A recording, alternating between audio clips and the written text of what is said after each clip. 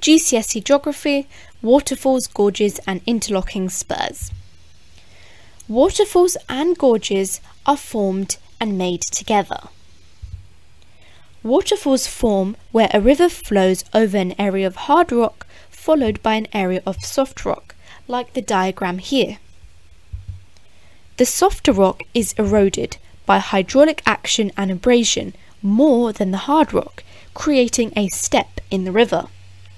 As water flows over the step, it erodes more and more of the softer rock. A steep drop is eventually created, which is called a waterfall. The hard rock is eventually undercut by erosion. It becomes unsupported and collapses like the third image.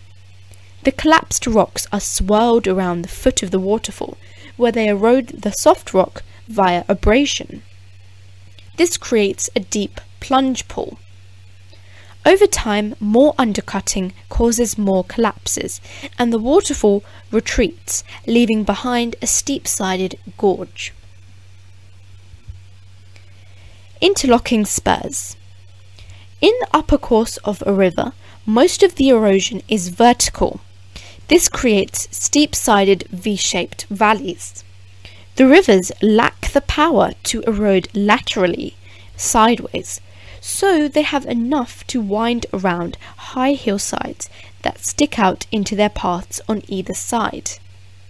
The hillsides that interlock with each other, like a zip, as the river winds around them are called interlocking spurs.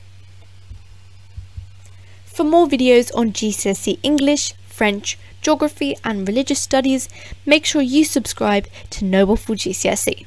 Thank you for watching and see you soon.